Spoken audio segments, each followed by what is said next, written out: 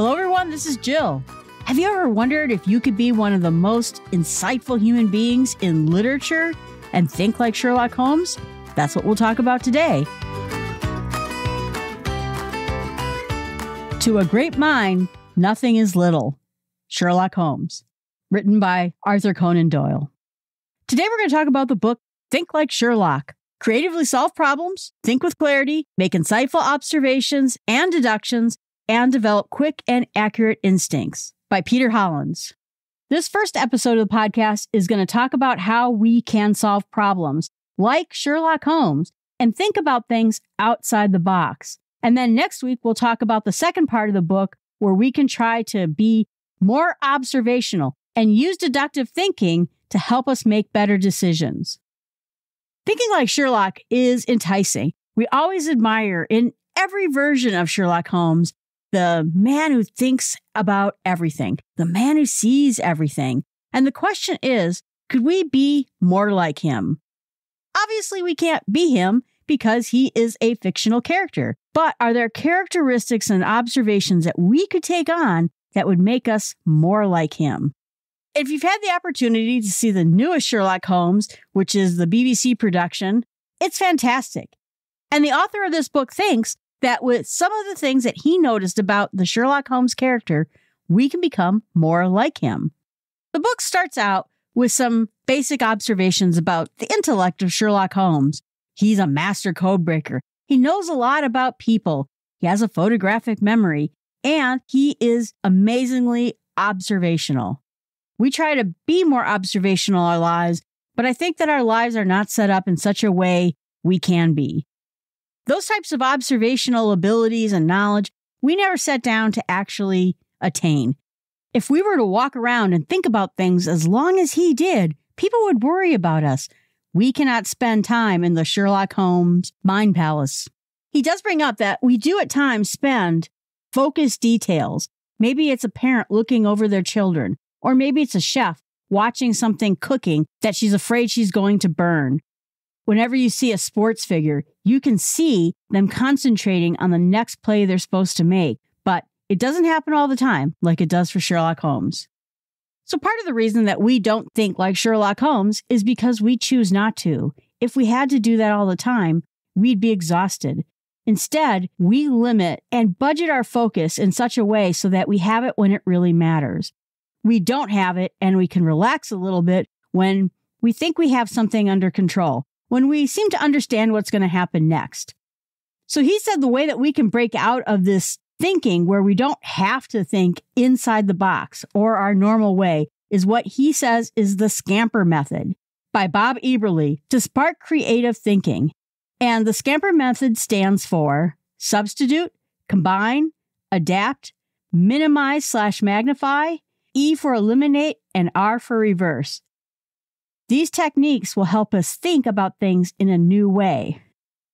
He says, too, we can use this type of problem solving when we have too many things to think about, multiple materials.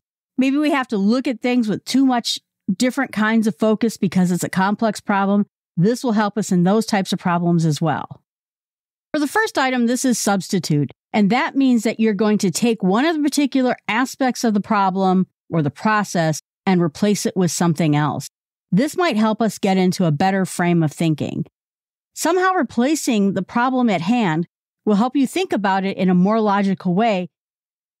Example of the combine, which is the See and Scamper, is can you take something and take two of the problems that you're having and put the solution into a single device? His example is the spork. What if I needed to give you a fork for some of the meals I provide to you, and other meals I need to give you a spoon? I don't have the time to deal with which thing I'm going to give you. So I'll give you a spork. It is a combination of the two.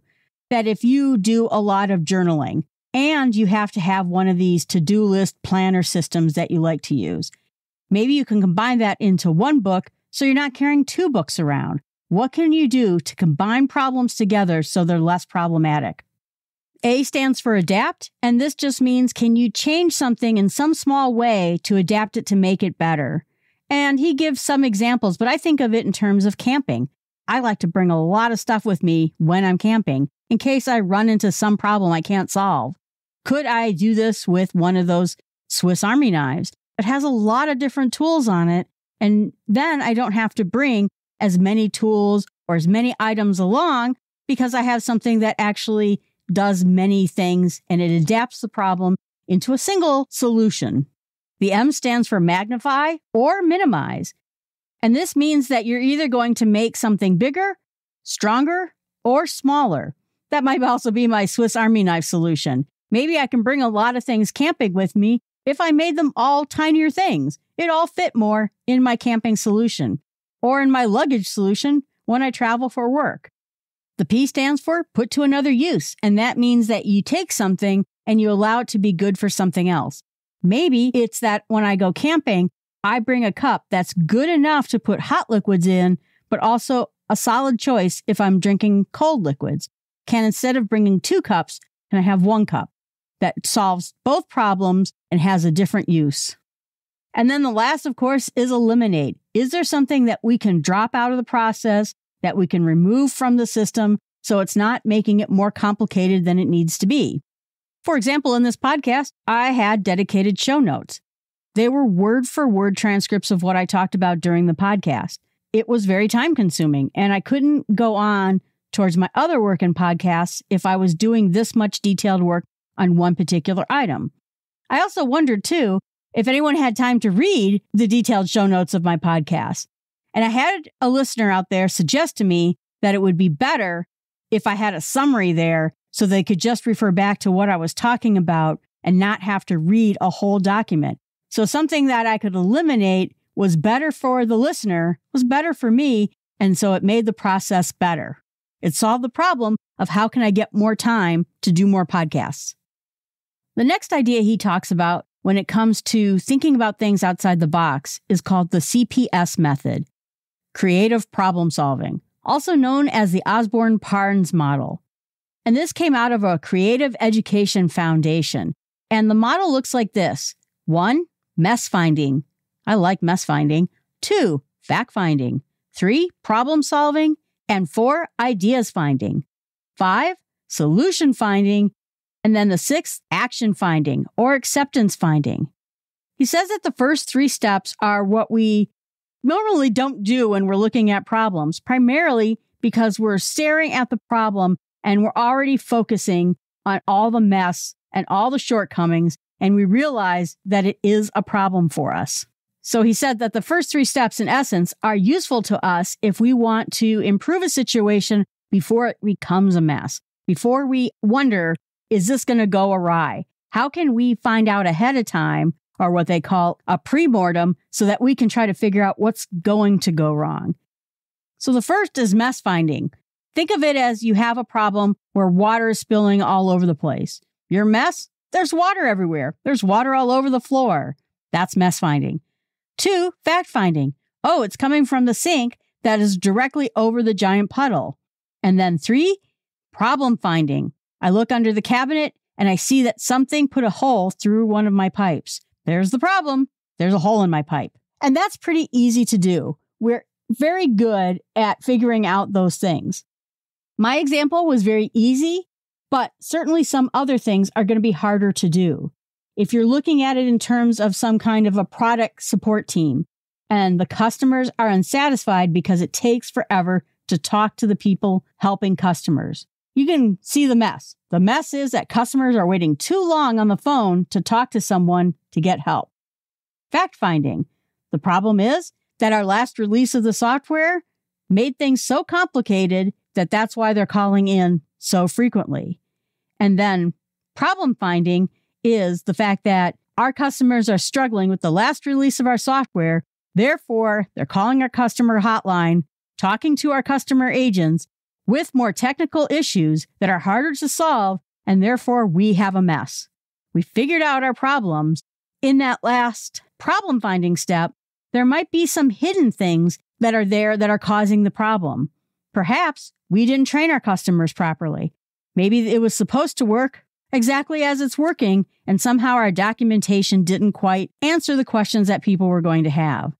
My examples were easy, but sometimes, particularly that third step, problem finding, that can be more time consuming and take a lot more detail. But now we're into the other side. Four is idea finding. What are some things that we could do to immediately solve the problem?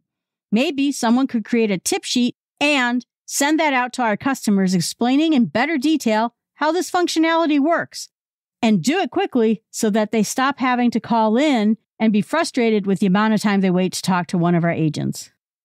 And he says that while we're going through that first step of trying to figure out, to finding out what the solutions are, he says, leave no stone unturned because any judgment made without complete information is going to be a bad solution. It's going to be something that's incorrect. So if we didn't do the first three steps well, we're going to have problems making a correct assessment of the fourth step, which is the beginning of solving the problem. He says that the ideas finding is brainstorming. It's coming up with as many ideas as we can think of. And we're trying to solve the problem by really thinking about everything we could do to cause this to be better. Could we call all of our customers with our training team involved and have them educated on how this new functionality works so they're happy with it and they understand it? There's a lot of solutions we could come with in order to make this problem better. He says at this point, we're going to do divergent thinking, which is trying to think of as many creative and out of the box ideas that we can think of. What can we do to solve this problem? Then we go into convergent thinking.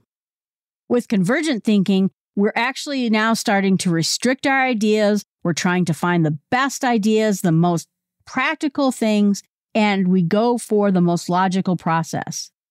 Well, we've come to the conclusion that the training issue was really at hand. We didn't document or educate people as well as we could have on this product.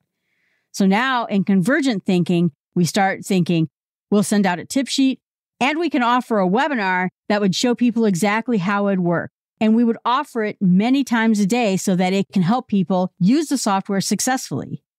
And that's where the solution finding comes in. We're going to converge on a solution. We're going to take all those diverse ideas, all those thinking outside of the box, and coming up with a solution that converges on solving our problems, has the fewest amount of weaknesses available, and actually makes the problem better.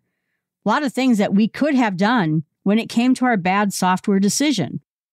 We could have retracted the software feature entirely, just pulled back the release. That'd be awful. Our customers would be angry. We could have called them all and try to explain what this new feature did. That's going to be very time consuming for us. And maybe some of our customers got it. Maybe they don't want to call. So now we're going in with the solution that has the least amount of downside and all the positive upsides of helping our customers. He says that we're looking for sustainability, usefulness, feasibility, cost effectiveness. So now we have that solution in hand with the fewest amount of problems and the most amount of wins. We're able to go through and start putting action to our problems.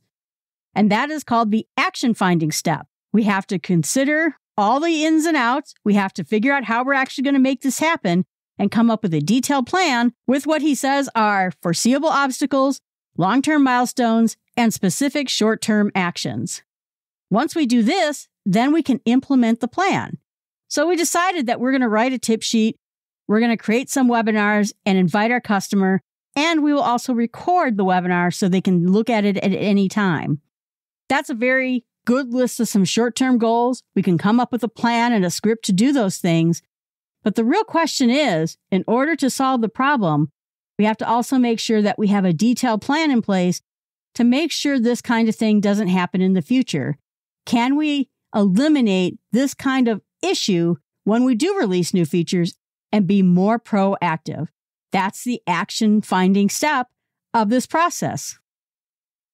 Our fun entertainment advice of the week comes from, of course, Sherlock Holmes in the wonderful BBC adaptation. You're a drama queen. Now, there is a man in there about to die. The game is on. Solve it!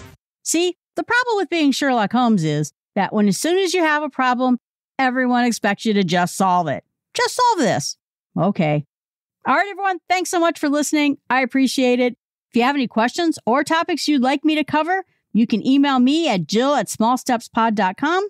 I'm on Facebook. I'm on Twitter. I have my email. Whatever way you like to talk to me, I'm happy to talk to you. And maybe if you have a problem that you're looking to solve, I could use my Sherlock Holmes brain for you. Have a great week.